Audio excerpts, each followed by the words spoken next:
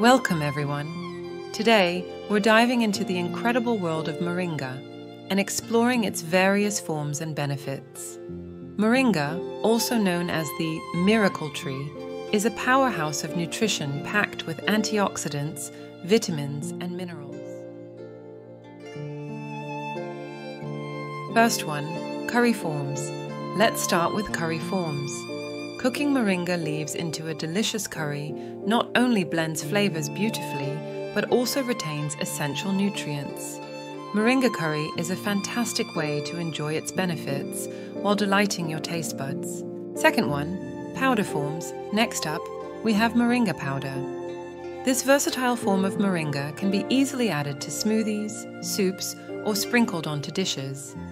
Its convenience makes it a great supplement to support a balanced diet thanks to its concentrated nutrient density. Third one, capsule forms. For those looking for ease and convenience, Moringa capsules are a great option.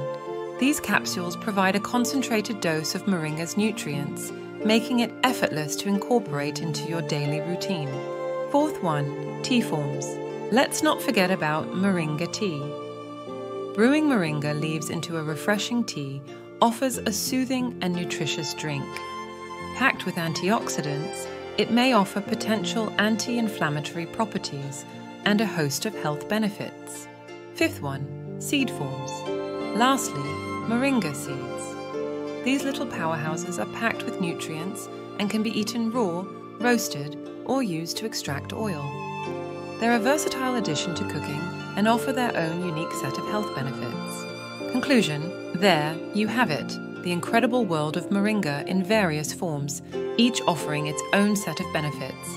Whether you prefer it in curry, powder, capsules, tea, or seeds, incorporating moringa into your diet can supercharge your nutrition.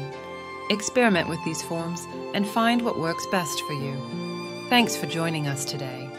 Please like and subscribe to my channel and press the bell icon to get new video updates.